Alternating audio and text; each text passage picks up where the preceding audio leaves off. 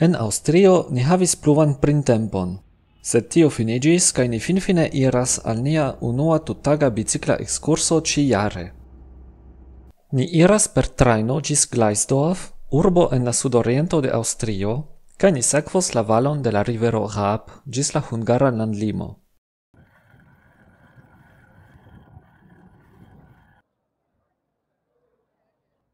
Ni mallonge visitas la centron de Gleisdorf, kaj ni komencas la ekskurson.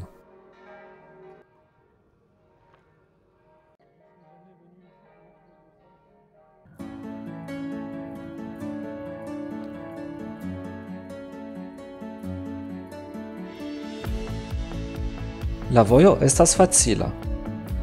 Ĝi estas sufiĉe plata, la itinero estas ĝenerale bone indikita, kaj ni iras laŭ vojoj sen aŭ preskaŭ sen aŭtoj.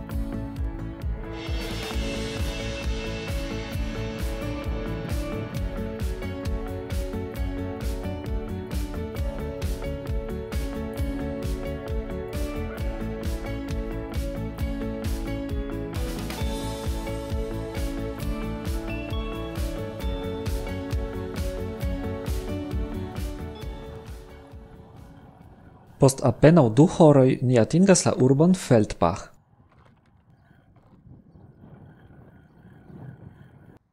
Ĉi tiun urbon ni jam vizitis pasintjare.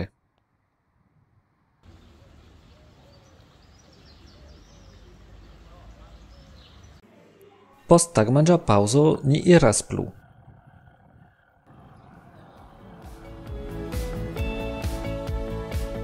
Ni estas iom pli lacaj, sed la vojo daŭre estas agrabla.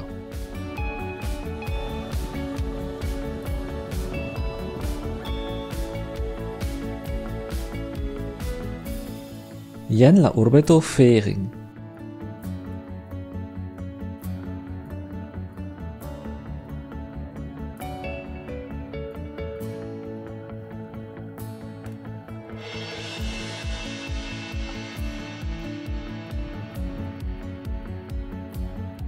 Ni eniras por kelkaj kilometroj Burgenlandon, la plej orientan ŝtaton de Aŭstrio.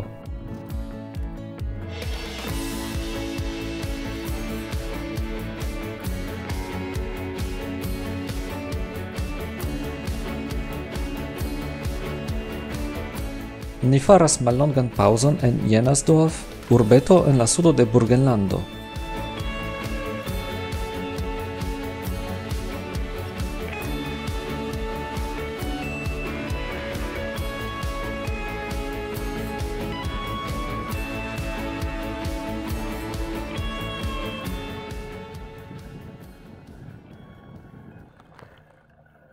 kai finfine ni atingas Hungarion.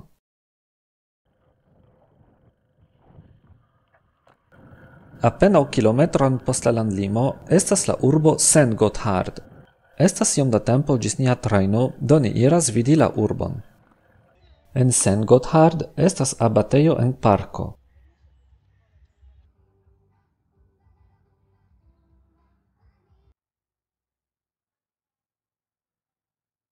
Apude estas malgranda placo kun kelkaj restoracioj. Ni bedaŭrinde ne havas tempon por vidi pli, ni devas reveni al la stacidomo. Estis bona ekskurso, ni biciklis pli ol 60 kilometrojn. Ĝis la venonta fojo!